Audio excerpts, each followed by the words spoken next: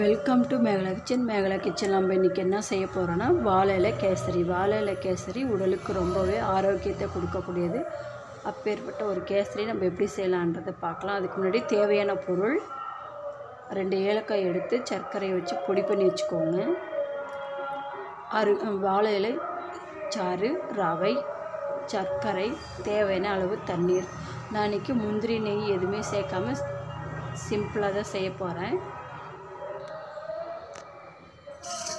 இந்த வாழை இலை சா கேசரி நம்ம செஞ்சு கொடுக்கும்போது நம்ம குழந்தைங்க ரொம்பவே ஹெல்த்தியாகவும் இருப்பாங்க நல்லா டேஸ்டியாகவும் சாப்பிடுவாங்க. இது கூட நம்ம ஃபுட் கலர் சேர்க்காம இருக்கும்போது ரொம்பவே உடலுக்கு ரொம்ப நல்லதுமா இப்போ வாழை இலை கேசரி செய்யலாம். அதுக்கு ஃபஸ்ட்டு அடுப்பத்தை வச்சு ஒரு வானல் வச்சுக்கோங்க. இப்போ ஒன்றரை கிளாஸ் அளவுக்கு வாழை இலை அரை சேர்த்துக்கிறேன். இது கூடவே மூணு கிளாஸ் தண்ணியில் சேர்த்துக்கிறேன். தேவையான அளவு சர்க்கரையை சேர்த்துக்கலாம். எனக்கு ஒரு கப் ரவிக்க ரெண்டு கப் ரெண்டு கப் சர்க்கரை சரியாக இருக்கணுனால ரெண்டு கப் சர்க்கரை சேர்த்துக்கிறேன். ஒரு டேஸ்ட் அதிகமாக வேணும்னா ரெண்டரை கப்பு சர்க்கரை கூட எடுத்துக்கலாம். கம்மியாக வேணும் அரை எப்படி வேணுமோ அதுக்கேற்றப்பல எடுத்துக்கோங்க. இப்போ இது கூட ஏலக்காய் பொடி பண்ணி வச்சு ஏலக்காய் சேர்த்துக்கலாம்.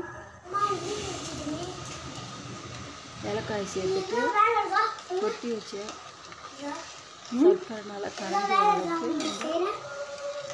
என்ன வேலை? பொறுமையாக கரண்டி வச்சு கிண்டி விட்டுட்டு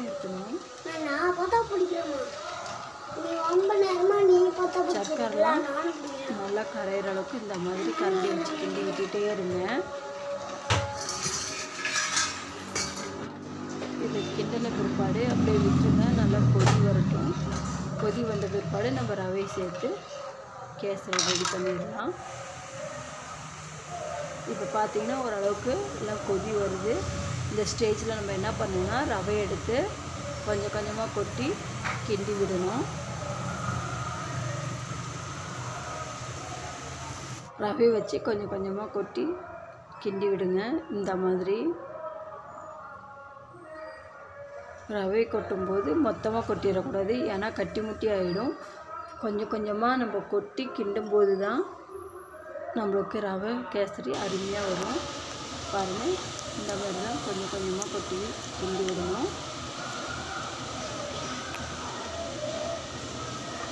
நம்ம கேசரியை வந்து பெரும்பாலும் ஃபுட் கலர் சேர்த்து செஞ்சு கொடுக்கும்போது அதுக்கு குழந்தைங்களுக்கு நல்லதில்லை.